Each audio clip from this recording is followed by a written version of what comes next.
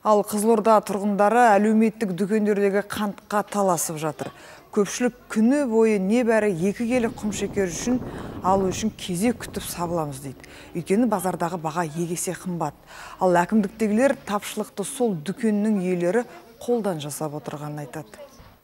Қызылорда қаласы 90 жылдарға қайта оралғандай қант әкелген күні әлеуметтік дүкендердің алды ең тірескен адамға толады. Көпшіліктің айтуынша кезекке тұратындардың саны тіпті 100 адамға дейін жетеді. Бірақ таңнан түске дейін кезегімізді күтсек те көбіне құр қол қайтамыз деп ашынады халық. жүз шақты адам жиналады күнде күнде таңғы сегізден он екі бірге дейін кейбіреуіне жетпейді қайтыс қалғандар күндері болады Әлеуметтік дүңгіршектерде тұрақтандыру қорынан алынатын қанттың келісі 263 теңгеден сатылып жатыр. Базарлар мен жеке дүкендердегі шекер бағасы 400-500 теңге аралығында.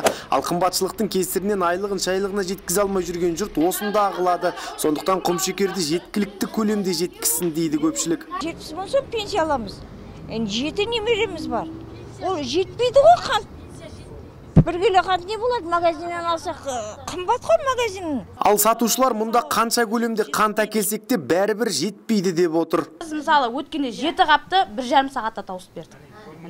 Бір жарым сағатта секунд болмайды бес адамнан ғана кіргіземін іште Жауапты корпорация өкілдері қоймада дәл қазір 80 тонна қант бар екен айтады. Тағы 300 тоннаға жуық құмшекер алдырып жатыр екен. Бұл қаладағы 36 әлеуметтік дүкенді қамтып отыруға толық жеткілікті дейді. Ал тапшылықтың туындауына сол дүкеннің иелерін кінәлайды. әдейі өзіміздің тексереміз перепродажа болмасын деп сондай ұстап қойған кәсіпкерлер бар олармен штрафын салдық Яғни мемлекет қаржатынан алынған қантты кәсіпкерлер халыққа бермей, қымбат бағада жеке дүкендерге өткізіп жүрген көрінеді. Бірақ бұған бақылауды барынша күшейтіп жатырмыз дейді жауаптылар. Ал алтын уақытын арзан қант алу үшін кезекте өткізіп жүрген көпшілік әлеуметтік дүкендер санын көбейтпей мәселе шешілмейді деген пікірде.